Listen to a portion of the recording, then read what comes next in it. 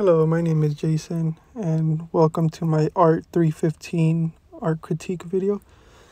Um, so, essentially, our objective was to go into the Los Angeles County Museum of Arts, also known as LACMA, and our objective was to find two either portraits or artwork sculptures and essentially evaluate them for colors, uh, theme, um, give context to them, and more. And so, without further say, let's get started.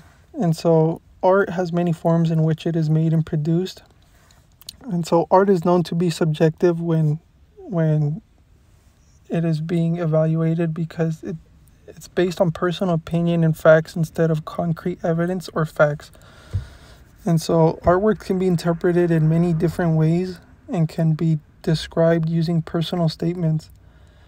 And so, one wouldn't necessarily find an artwork and find a concrete fact to it and necessarily say that this is what this artwork means and only this because artwork any artwork is subjective and it's not it it doesn't have a sole meaning but it's more for the person to interpret and actually see and so, art is known to be a visual medium used to express emotions and experiences. And so, art can vary from being classical artworks that portray something nice or uh, or have an underlying context to it. So, it could be something really pretty, which could show uh, something really nice, really colorful, but it could also be something really dark. The the whole point of art isn't necessarily to focus on these things, but more of what's trying to be told because it is said that an artwork could speak a thousand words. And so, whenever looking into artworks, this is something one should keep in mind. And so, my first artwork that I had evaluated was this artwork by Ludwig Meidner, also, and it's called the apocalyptic landscape.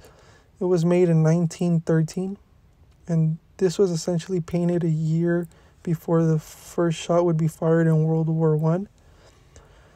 And so this was essentially what was portrayed to be the beginning. And in the apocalypse, it portrays to be a city at war, which is clearly the context. But the thing is, it's more disoriented and you could see many lines crossing each other. And so in the in the portrait you could see that the soldiers are standing around but at different directions which looks like there's chaos happening in the city. When one looks at the floor, you could see deep cracks which could signify that things are falling apart. The buildings on the other hand are not uh squ- a rec- square rectangle shape, but more of a jagged zigzag line, which could signify that the buildings are collapsing, that the the state within itself is falling and collapsing. And so whenever you also look at the soldiers, when you look at the soldiers, you could also see that the they're expressionless. They have they have no for real look on their face because you can determine their facial expression. This could be due to the fact that during this time it was very political, and around this time, many people were scared to speak up on their personal opinions or rebel against law and order because it was very frowned upon and looked down upon. And so, in reality, the soldiers were forced to obey law and order no matter what the state of the world looked like and what was happening. Their main objective was to get things done and come back home with a victory. And so this is a phenomenal job by Ludwig Meidner. And so here's me with the painting, as you could see. Whenever you look at the portrait, you could see the jagged lines. You could see the soldiers that are dressed in black. You could see the jagged lines in the sky.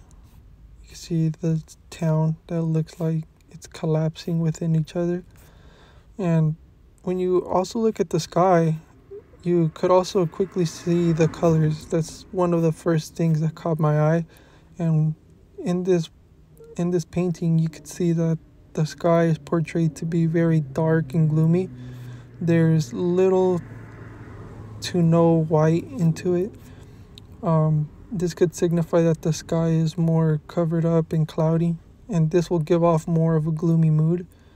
Whenever it rains or whenever the weather is down, what people tend to see is cloudy skies, and that usually brings people's emotions down because of the dark nature of it. And so Ludwig did an amazing job of not only adding these lines and portraying the city, but also adding the detail to the sky to add to the feeling of chaos. And so when you look at the colors, the colors here are not really bright. You don't see a dark, a very bright blue. You don't see a pink. You see more black, gray, white, more of like dark or um, original colors that one might originally see, but in reality, it's more of a darker shade. And this could give off more of a depressed, gloomy type feel to it. And he did an amazing job of portraying this and giving a feel of chaos, just like one might feel right before a world war commences. And so my other painting is by David Hockney. And this one is called Mulholland Drive, The Road to the Studio, which was created in 1980. And as you could see, here is the portrait, here's the painting. It's a very, very long one, and it was very amazing to see and sit in front of it. Here's me standing in front of it. So let's jump right into it. So, David Hockney was born in July 9th, 1937, but he was originally born in England. It wasn't until where he grew up he would come to the United States and visit. And one of the first places that he came to visit was California. Uh, when he came to California, he quickly fell in love with the environment and the the the state he quickly fell in love with the colorful state and like the really really sunny nature of it just like anyone would visiting california for the first time. And so in this picture he had painted the famous hills known to valley residents in california also known as mulholland drive. This is more up in the hills where um, more like Calabasas type area. And whenever you go to this location, you could kind of, the very top, you could get a good look of the valley. And it's a very beautiful sight to see. And so the picture was portrayed in the day because of the because of the bright colors used. As you could see here, the colors used are some very bright colors. You don't necessarily see a dark color or shades because it's not really needed. This is more supposed to be of a beautiful painting and something that represents something that means a lot to him and presents very close within him. And so, whenever someone visits for the first time and they fall in love with a place like David did, it's it's easy for one to notice things that the average person might not, which is color, the beauty of things. And even small little details as in trees the roads and things like that. So he was able to necessarily portray his memory to the best type but he was able to paint Mulholland Drive in the most beautiful and creative way. What really resided with me within this painting was how he used bright colors and it made the painting very beautiful. The reason for this is because whenever one travels to their state or a state they necessarily love and admire, they tend to see things that the average person wouldn't. And in this case, he noted colors that maybe people may not see on the daily basis. And so in this instance, David was able to use a lot of colors to bring to life. And an example is whenever I go back home to Colorado and I take photos of nature or the sky and stuff like that, there tends to be people that respond to my photos saying that it's normal or it's average. There's nothing really special about it. But the whole point of my photos isn't necessarily to please people, but to capture what I see as beautiful. To my eye, this is my home. To me, I'm capturing something that resides within me, and one may not be able to see the beauty that that I see, but as long as I'm able to see that and admire that as much as I can, that's all that necessarily matters. And here, David could be seen portraying what he really fell in love with and was able to really convert in a way that re- really resembled it in a positive manner. And so, another really, really cool thing I would like to add is how he used a fairly good amount of warm colors. And a thing that I would like to attribute this to is because this is the state of California. This is the sunny state of California, and it's known to be sunny, hot, and very colorful with palm trees and nature. So